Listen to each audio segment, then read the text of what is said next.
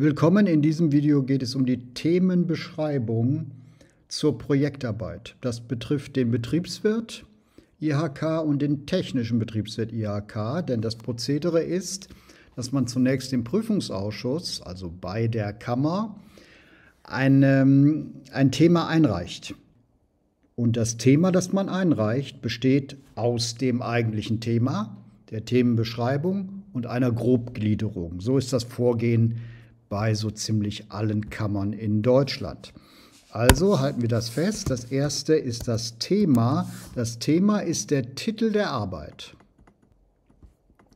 Ja, Thema ist der Titel und dieser Titel erscheint auch auf dem Zeugnis. Dieses Thema, dieser Titel ist gleichzeitig ein Versprechen. Das heißt, man muss das liefern, was man im Titel verspricht. Wenn man eine Entscheidungsgrundlage verspricht, muss am Ende der Arbeit logisch eine Entscheidung abgeleitet sein. Wenn man ein Konzept verspricht, muss in der Arbeit ein Konzept sein.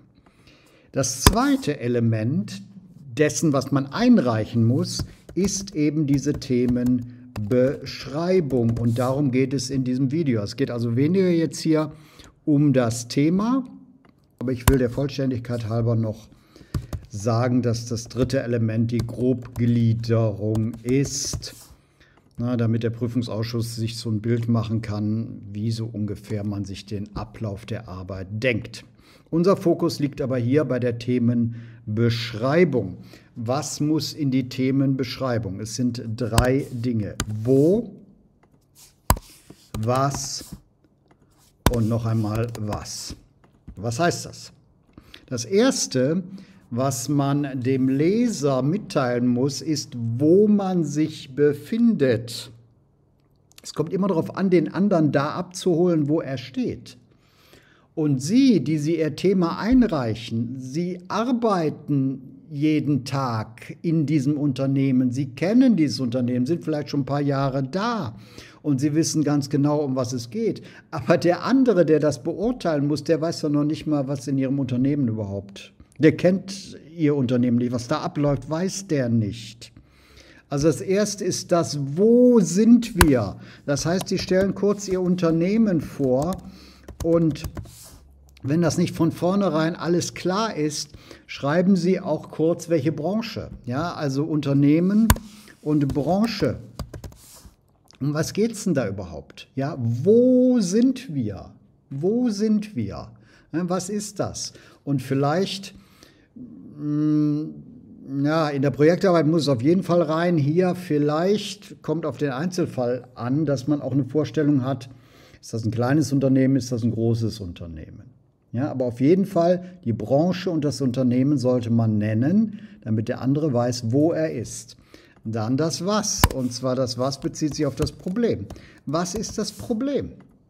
Ja, zum Beispiel der Ablauf, ein bestimmter Ablauf, sagen wir zur Befriedigung eines Kundenauftrags, dauert zu lange. Und Ihr Thema ist Konzept zur Beschleunigung des Prozesses der Kundenabwicklung, um mal eben hier was aus der Hüfte zu schießen. Ja, das ist ihr Thema. Das heißt, sie versprechen ein Konzept, ihre Arbeit muss also dieses Konzept liefern. Und das Problem ist, dieser Ablauf, dieser Prozess dauert zu lange. Also, wo sind wir? Was ist das Problem? Und was wollen Sie tun? Ja, was will ich tun? Das ist das Dritte. Das, das Dritte hier, wo, was, was. Also das zweite was bezieht sich darauf, dass Sie schreiben, in dieser Projektarbeit soll ein Konzept entwickelt werden, um den Prozess der, der Abwicklung dieses Kundenauftrags zu beschleunigen. So, das ist dann im weitesten Sinne etwas, was man der Organisationslehre zuordnet, der Ablauforganisation, moderner Prozessorganisation genannt. Ne? So, und das sind die drei Dinge, die in die Themenbeschreibung gehören. Darin, äh, was gehört da nicht rein? Die Geschichte des Unternehmens gehört da nicht rein. Irgendwelche Ausschweifungen über sie selber gehören da nicht rein. Ja, sondern nur, wo bin ich, was ist das Problem, was will ich tun. Das ist eine gute Themenbeschreibung. Das Ganze sind sechs bis sieben Zeilen etwa. Ja? Das Thema sollte eine Zeile sein. Ja? Themen, die über zwei Zeilen gehen, sind oft nicht gut formuliert. Die Themenbeschreibung fünf, sechs, sieben Zeilen und die Grobgliederung fünf bis sechs Hauptpunkte. Ja, also Thema eine Zeile. Themenbeschreibung fünf bis sieben Zeilen etwa. Oft haben Sie da auch Formulare, wo Sie eine gewisse Platzvorgabe haben von der Kammer schon vorbereitet. Da sehen Sie, dass Sie da keine Romane schreiben können. Und die Grobgliederung fünf bis sechs maximal Hauptpunkte.